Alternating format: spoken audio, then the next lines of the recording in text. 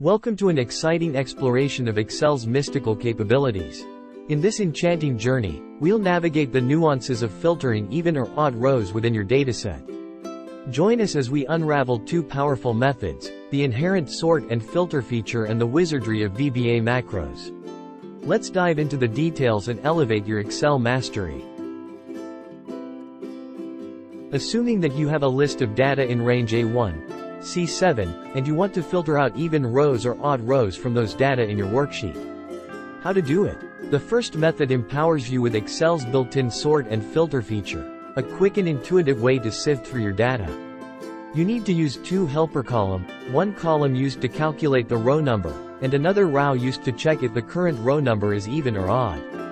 Let's see how you can effortlessly filter even or odd rows using this method. Insert the first extra column at the end of the column C, and enter the number 1, and then drag the autofill handle until to cell row 7.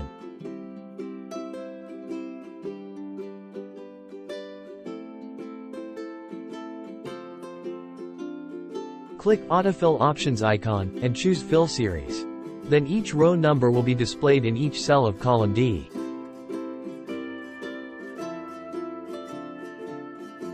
Insert the second extra column at the end of the column D, and enter the following formula based on the ISEVEN function to check if the current row number is even or odd.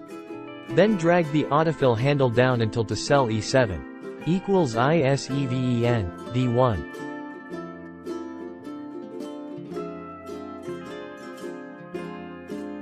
Keep to select column E, and go to Data tab. Click Filter command under Sort and Filter group. And a filter icon will add into the cell E1.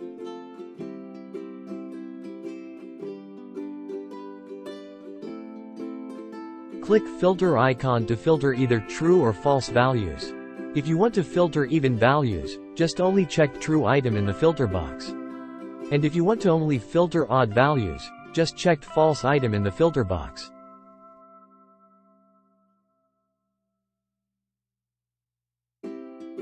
For those craving a more tailored approach, our second method employs VBA wizardry through a macro.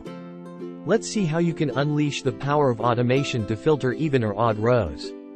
Press Alt plus F11 to open the Visual Basic for Applications, VBA, editor. In the editor, go to Insert, Module to add a new module. Copy and paste the provided VBA code into the module. This code loops through each row in the selected range and hides or shows the entire row based on whether it's an even or odd row.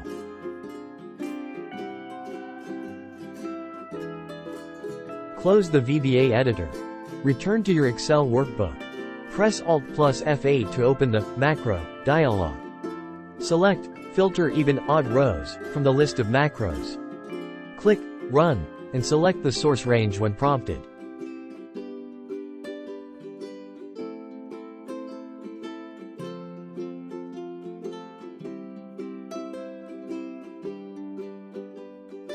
Enter either even or odd without quotes as the filter criteria.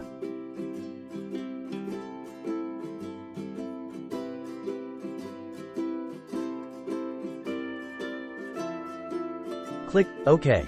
Watch as Excel dynamically filters even or odd rows based on your specified criteria within the selected source range. With these two methods at your fingertips, you're now equipped to efficiently filter even or odd rows in Excel. Stay tuned for more Excel insights. Don't forget to subscribe for future tips. Share this newfound knowledge with your peers, and, as always, thanks for watching.